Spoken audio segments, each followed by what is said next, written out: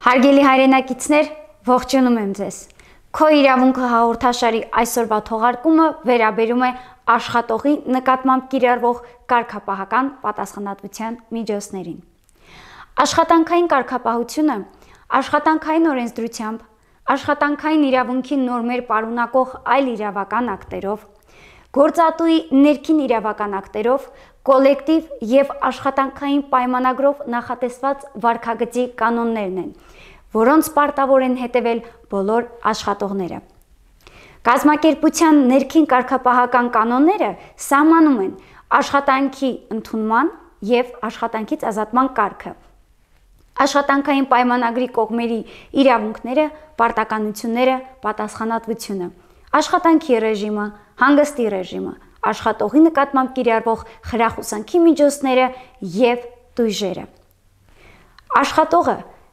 աշխատանքային պարտականությունները բարեխիղճ կատարելու դեպքում կարող է խրախուսվել գործատուի կողմից։ Աշխատանքային օրենսդրությամբ նախատեսված են խրախուսանքի հետևյալ ձևերը. շնորհակալության հայտարարում, միանվագ դրամական ապարքեվատրում, հուշանվերով ապարքեվատրում, լրացուցիչ վճարովի արձակուրդի տրամադրում եւ կարգապահական տույժի հանում։ Ընդ որում, գործատուի ներքին իրավական ակտերով կարող են սահմանվել նաև աշխատանքային օրենսդրությամբ սահմանված խրախուսանքի միջոցներում տարբերվող այլ խրախուսանքի միջոցներ։ Սակայն եթե աշխատողը չի կատարում իր աշխատանքային պարտականությունները կամ անբարեխիղճ է կատարում դրանք, ապա նրա նկատմամբ կիրառվում են կարգապահական միջոցներ։ Կարգապահական միջոցները կիրառվում են աշխատանքային կարգապահությունը խախտած աշխատողի նկատմամբ աշխատանքային օրենսդրությամբ նախատեսված են կարգապահական տույժերի հետևյալ տեսակները. նկատողություն, խիստ նկատողություն եւ աշխատանքային պայմանագրի լուծում օրենսդրությամբ սահմանված դեպքերում։ Շատ հաճախ գործատուները մտածում են, որ ցանկացած խախտման համար կարող են կամայականորեն կիրառել այս կամ այն տույժը։ Սակայն մեր օրենսդրությունը հստակ սահմանում է, որ կարգապահական այս կամ այդ ուժը ընտրելիս գործատուն պետք է հաշվի առնի. Աշխատողի կատարած արարքը, աշխատողի մեղքը, արարքի ծանրությունը, դրա հետևանքները եւ աշխատողի նախկինում կատարած աշխատանքը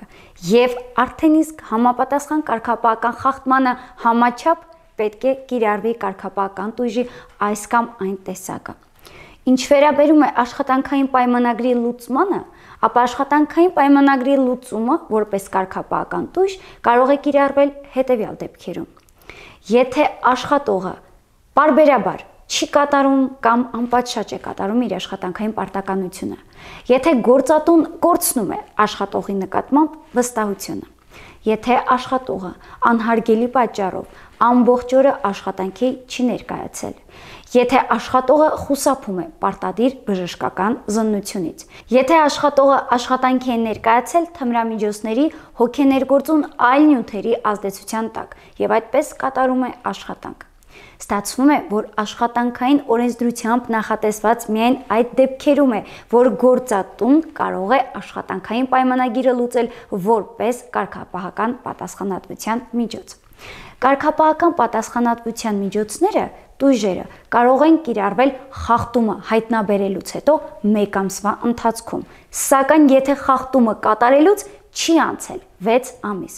Ընդ որում, եթե խախտումը հայտնաբերվել է աուդիտի, ֆինանսատնտեսական այլ ստուգման, գույքագրման արդյունքում, ապա կարգապահական տուժի աշխատողի նկատմամբ կարող է կիրառվել, եթե արարքը կատարելուց չի անցել 1 տարին։ Շատ կարևոր է հասկանալ նաև կարգապահական տույժի հանման եւ կարգապահական տույժի մարման տարբերությունը։ Եթե աշխատողը կարգապահական տույժի ենթարկվելուց հետո 1 տարվա ընթացքում բարեխեշտ դրսևորվում է իրեն, ապա կարգապահական տույժը համարվում է մարված։ Իսկ կարգապահական տույժի հանումը աշխատողի նկատմամբ կիրառվում է որպես խրախուսման միջոց։ Եթե աշխատողը